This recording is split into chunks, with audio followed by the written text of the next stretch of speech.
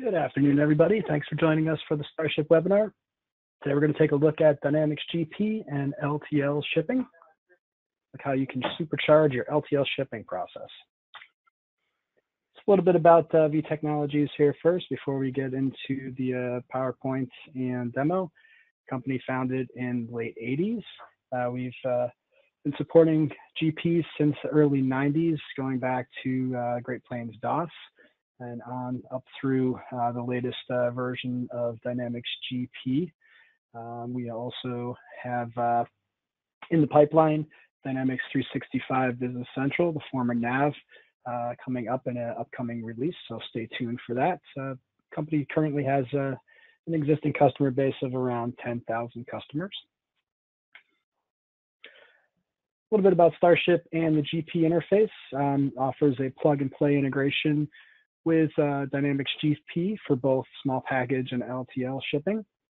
Uh, today we're looking at the uh, LTL functionality. what that can do is uh, help you automatically update GP with uh, the bill of lading information and the pro numbers, uh, basically the tracking for your freight shipments. there are some fulfillment options with Starship as well. Uh, there's some light fulfillment in Starship, uh, able to move uh, quantities of product back onto the order if you don't ha have them in stock and you're short shipping, or in conjunction with the warehouse management solution. You have uh, default integrations with uh, Panatrack and High Jumps Collect for GP products. Uh, so you can expand the integration there to have a full pick pack solution on handheld devices. Uh, sales order quoting with uh, Starship, you have the ability to have a single view of all of your carriers side by side so you can make an educated decision and you have the ability to call that uh, up from the sales order processing screen or independent of that from a browser window. There's also an API uh, if you want to embed a web service inside of your workflow in CRM, order entry, your shopping cart, uh, you can call the rate shopping functionality from really any place in your workflow. Starship also offers EDI integration, so you have the ability to print your 128 compliance labels for all of your various trading partners, process the uh, ASN information through Starship and hand off that data to a lot of the, uh, the leading EDI solutions in the GP space, such as SPS Commerce, TrueCommerce, and DataMasons.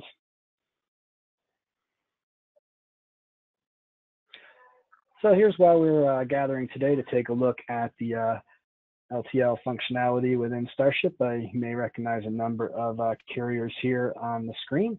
Uh, we've started building out the LTL functionality about uh, 10, 11 years ago, and over time we've continued to add to that list. Uh, we also have a number of uh, third-party logistics companies that we're integrated with as well. We've partnered with Worldwide Express and their sister company Unishippers, as well as uh, Freight Quotes and their parent company CH Robinson. There's also some TMS options available for hosting rates for carriers. So if there's carriers that you're currently using for LTL that you don't see on the screen here. Uh, there are other options. We also have just basic bill of lading option as well for LTL. Uh, so feel free to uh, contact me or your customer account manager and we can explore uh, how we can help you with the, uh, the LTL shipping process.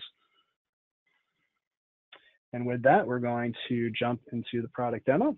All right, so this is the uh, Starship web client. if you're not familiar with this just yet, can run in parallel with uh, the desktop application. You can run both of these together. Uh, there's also uh, Starship Cloud, which has uh, recently become available as a controlled release. So if you're interested in either upgrading to the web client or interested in our new cloud solution, uh, feel free to contact us and we'd be happy to have that discussion with you.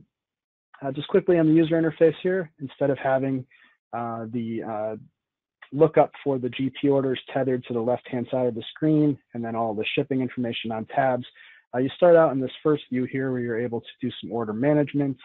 Uh, you have still, still have the ability to uh, key in or uh, scan in the document number coming out of GP in order to select the transaction. You can also multi-select here as well. Uh, here you also have some filters that you can uh, narrow down that view so you have all of your pending transactions here. I've narrow down the view based on the customer and a specific batch. So you can add your filters here. And you can look at, you know, certain batches, any of the uh, order information that we're getting at, customer ID, uh, a date range or a specific date you're looking for, PO number, a certain type of document, maybe you're just looking for your RMAs or any of the address fields, ship method, any number of ways to uh, sort through that data. But the traditional method of just uh, entering or scanning in an order is still supported. You can do that here, or you can select orders here from the list of transactions. So any orders that have quantities available to ship against, you can select those orders here, and we'll get started with that shipping process. If you've created a ship method in GP for your LTL carriers, Starship will uh, do a value translation on that. We'll read that in. Uh, we could also accept keywords if you wanted to use that to trigger the rate shopping, or uh, we have ship via rules that can make that selection for you if you want to take that decision out of the hands of the operator. Uh, the user does have the ability to come in here and select a carrier. So um, you have the ability to pick from any, any, number of carriers that you have set up on your system here for LTL. So you can toggle between carriers and services there. Uh, we've also introduced this new packing assistant. You can have a preference set where it takes you directly to the packaging um, as soon as you enter into Starship. This is similar to the shipping assistant that was on uh, the older desktop application. So you have all of your items and boxes and boxes that go on pallets here. And you can drill down into those. You can also set up uh, packaging scenarios to have case packs created around a certain quantity of product. Uh, you can you know, pack these out individually here. If you're using the GP Advanced module, you can hook that into some packaging tables and a WMS. You also have the ability to do aggregate packaging. So if you don't really care about the item to box uh, distribution between uh, your, your products, you have the ability to just uh, put in the total quantity of handling units and boxes here. And Starship would reflect that on the bill of lading. Uh, you have preferences on your bill of lading as well as how, how that information is displayed. Uh, once we process the shipment here, I'll take you into that setup. So we got everything packed up, we're ready to go. At this point, if we want to assign a carrier, um, you know, as I said, we have those ship via rules, rate shopping rules that can be um, set up and add that logic to your, your carrier selection. By default, we'll look at the ship method and bring over the appropriate carrier and service level, or you have the ability to rate shop here, whether that's from order entry or at the point that you're ready to start shipping. Uh, you have all of the carrier charges here side by side, so you can look at your cost as well as uh, the amount that you would pass on to the uh, invoice on the customer side with any kind of handling fees or markups, any discounts you want to apply with your freight rules. You can also sort here by transit time. And if you have a date and time when the goods need to be there by, you can also enter that in and Starship will automatically uh, filter out any of those services that can't make that transit time. So we'll go ahead and pick one of our carriers here and we'll process the shipment. You have the shipping process icon here, or you have your keyboard shortcuts up here in the menu. When I ship and process, that will uh, automatically tender the shipment to the carrier. So if they have capacity to pick up the truck, we'll get back a confirmation, print out our package and pallet labels, our bill of lading, and we'll go ahead and push all that information back into GP. So let's take a look at that first, and then we'll come back to Starship and look at some of the configuration around LTL.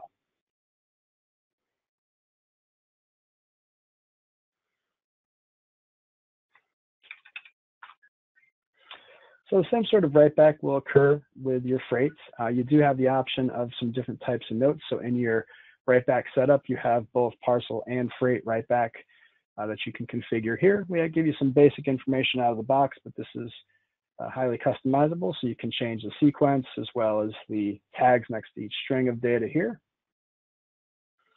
Basically tell you the uh, bill of lading number. We can assign that automatically or that's a mappable field uh, when it went out, when you can expect the product to be delivered by, the carrier or the SCAC code that was used, the billing preference, however it was sent out, third party or collect as well, and then your piece counts with the pro number here. We'll also update that information over to the tracking table, same as parcel. And we also have some user-defined fields left populated here, just a shipped confirmation, as well as the um, the cost. So I've plugged that into one of my user defined fields. You can do that in the custom write back section. So I can capture my exposure on the freight, as well as the marked up amount here. So if we want to run a smart list, do a little bit of analysis on what our freight spend and our profit loss margin is, you can do that right here within GP. Batch ID, we've updated that, so we've tagged batch. Uh, you do have the option of changing the ship method as well, so we can write that back with the custom write back. If you want to rate shop and then pick a different carrier, we can tag it with the specific service level that was used in GP. Uh, beyond the out-of-the-box integration that you you have currently with GP, uh, you also have the SQL extension as options to read and write data to other sources. So if you're leveraging things like GP's extender tables or other applications like SalesPad, CRM, uh, service database. Uh, we have the ability to pull data out of there and then also write uh, individual strings of data to specific fields. So we can do that with a query, um, or we could also be contracted to write the SQL for you, or you have access to those tools within Starship as well. Take a look back in Starship at some of the uh, LTL configuration. You do have both package and pallet labels. Um, these can also be, um, you know, printed to a thermal label. For the purposes of demonstration, I have that set to render to PDF. Um, some of the other documents you can get out of the box with Starship. Of course, all the carriers that uh, we offer integration to, you do have uh, templates with uh, with their formats. Uh, the, the Starship templates give you the ability to do a little more customization. So if you're familiar with the template designer, uh, you have the ability to modify any of these stock forms with any of your um, logos or uh, custom formatting changes that you'd like to make. Uh, built into Starship, you have the, uh, the, standard straight bill of lading here, which can be modified. Uh, you also have the VICS bill of lading. And then if you're doing more uh, truckload or multi-stop type shipments, there's a master bill of lading here, and that could include multiple sales transactions on the same shipment with various handling units and different products coming from several different orders coming out of GP. All those can be modified. Uh, there's also the hazmat bill of lading, uh, packing list. You have, of course, the standard shipment level packing list. You also have the uh, kind of hybrid forms here where you can get the packing list and the shipping labels together. A couple different formats there. Um, there's also the um, standard packing list that you can do on a thermal label. So you can get those collated and printed in the same sequence as your, your package or pallet label and then a packing list right on a thermal label. But you can put that on the outside of the box or with the pallet.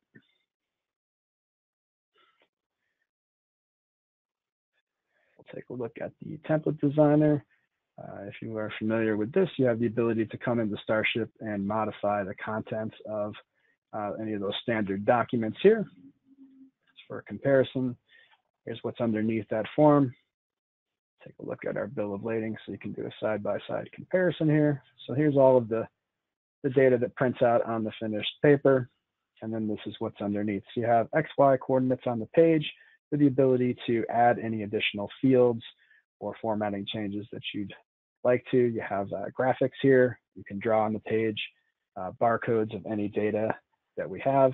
Um, bands of text where you have columns of data that line up here, individual fields or blocks of text. So you can take any of the information that's here, wipe that out and uh, free up some space or add your own verbiage. Any of the fields of data we have here, um, you can easily redirect that to another field. And these are in different categories. Uh, so you just have to navigate to the type of information that you're looking for. You have line item fields here is all your various item fields. So Starship's looking at its own data to populate these forms. It's not looking at the GP database, but we can map that data in through the integration and all those fields are populated by GP. We can go ahead and uh, print out any of that information on the documents that you may require.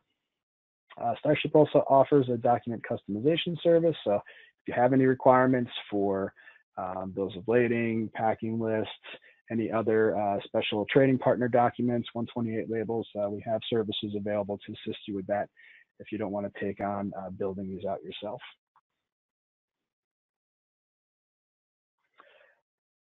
Right quick, I just wanted to show you here the uh, eNotify uh, integration. You do have the option of sending out custom emails for your LTL shipments as well. So you may be leveraging the UPS uh, Quantum View or FedEx Ship Alert services for your parcel shipments Uh, Starship does have this e-notify module built in where you can design your own custom email templates, send that out through your own POP account or SMTP server.